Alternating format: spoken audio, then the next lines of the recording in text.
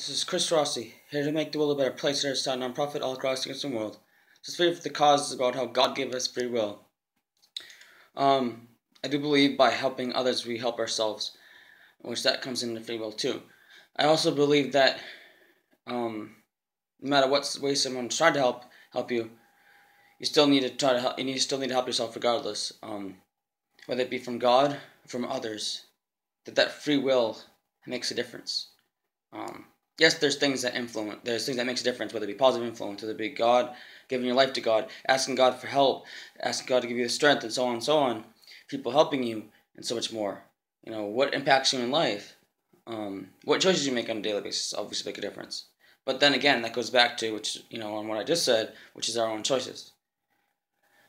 So, you know, on God giving us a free will, um, you know how important it is for us to uh, to make good choices. How important it is for us to do the right thing.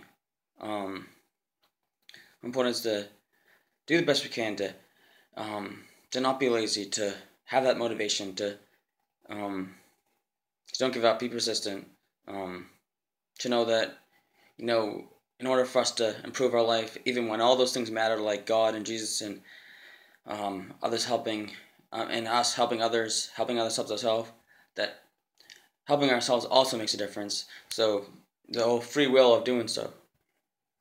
So help yourself by making that choice to make your life better, even because even whether it be because you help others help yourself, that's even a choice, or helping um, someone else helping you can help you to get better, and you listen to that.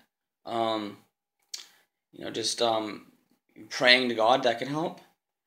But regardless of any of those things, anytime you either choose to listen to people that are helping you, you choose to pray to God that could help you, um, you choose to receive the help that where God could be helping you, um, God and Jesus helping you, or just in general, making that choices, choices to listen, choices to make the right choice, make the right decisions, to do the right thing.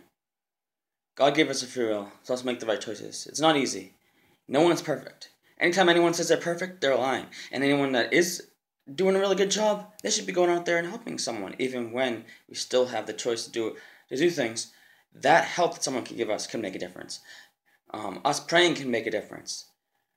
Us being around healthy environments can make a difference, even though we should still go out and try to help others that are uh, not doing so good. So, use God's free will for a good thing um, by making good choices. God gives us free will. Let's make the world a better place. Have a good day or night. God bless. Take care.